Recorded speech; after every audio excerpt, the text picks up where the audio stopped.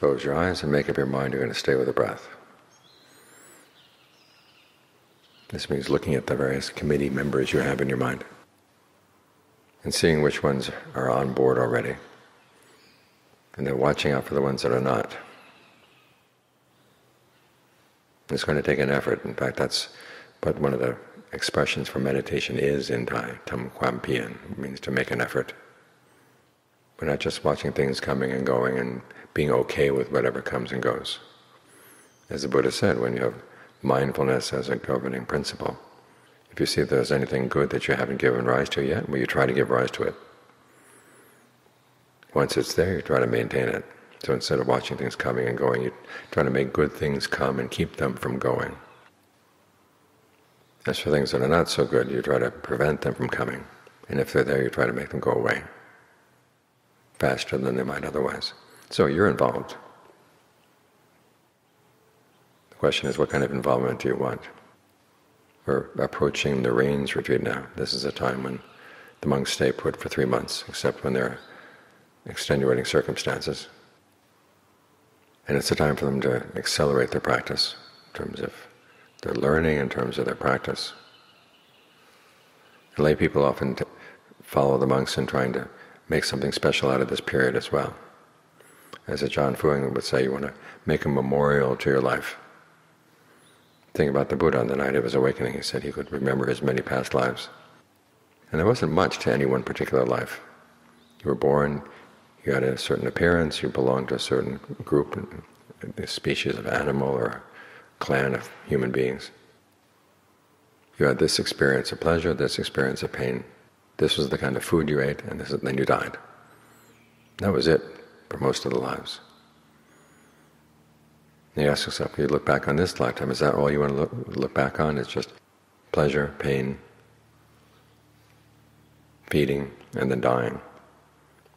Don't you want to have something more? This is where you can think about the goodness you can develop. It can be in terms of your generosity, in terms of your virtue, in terms of your, your meditation anywhere you, see where the mind is still lacking in its training. What kind of training would you like to take on? And then make up your mind that for the three months you're going to stick with that. In terms of the precepts, you might decide you want to be more strict about the precepts. Especially the precept against lying. You want to make sure that even you don't exaggerate things. You don't tell white lies. You don't even tell jokes that are lies. You find ways of expressing your humor in other ways. And see what that does. And basically you put up a fence. So I'm not going to go past this fence no matter what. And you find that your goodness grows. It does become a memorial. You find pleasure not just in sights, sounds, smells, tastes, tactile sensations, but you find pleasure in find building something good inside yourself. That's the kind of memorial you'd like to have. So think about it. What kind of memorial would you like to build for this year? Something special. So you have something really good to look back on, and not only to look back on, something good to depend on, because as you strengthen yourself in this way, then when aging comes, when illness comes, when death comes, you'll have something solid to fall back on, something you can trust.